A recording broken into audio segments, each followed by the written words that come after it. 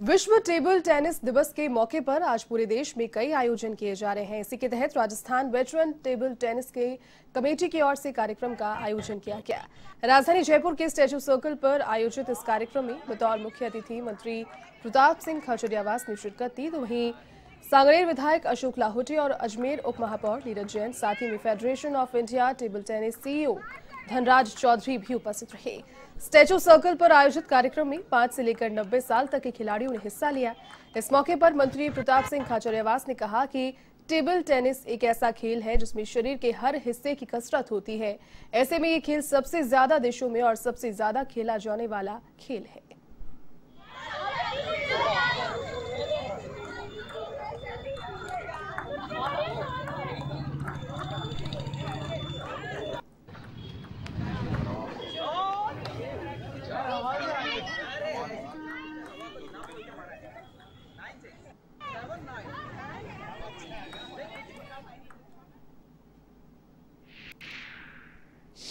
बच्चों का बीता हुआ वक्त बीता हुआ बचपन वापस नहीं आएगा। मैं सब पेरेंट्स से रिक्वेस्ट करूँगा, बच्चों को बचपन जीने दो और बचपन जीने दोगे तो बच्चे की ग्रोथ बढ़ेगी, आगे बढ़ेगा। बेवजह प्रेशर बिल्डअप मत करो।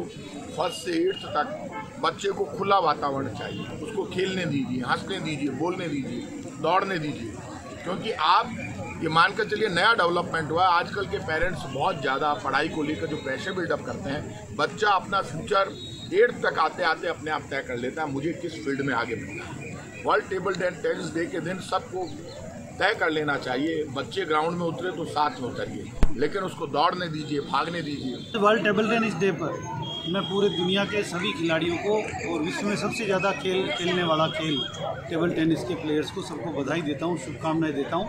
और राजस्थान से जो इंडिया को जो फेडरेशन के जो हेड हैं धनराज जी और ललित जी और इनकी अजय जी, इनकी पूरी टीम को आप सबको बहुत बहुत शुभकामनाएँ देता हूँ। जयपुर के हृदय स्थल, यहाँ पर आज स्टेचू सर्किल पर ये पूरा लाइव यहाँ पर बच्चे खेल रहे हैं और कर रहे हैं। इससे कहते हैं हैप्पीनेस इंडेक्स बढ़ाना ये कोविड के काल में जयपुर का हैप्पीनेस इंडेक्स बढ़ाने का भी आपने काम किया है। मैं इसके लिए भी आपका आभार व्यक्त करता हूँ। है कि टेबल टेनिस एक ओलंपिक स्पोर्ट्स है और इसमें दो सौ चौंतीस कंट्री एफिलेट है।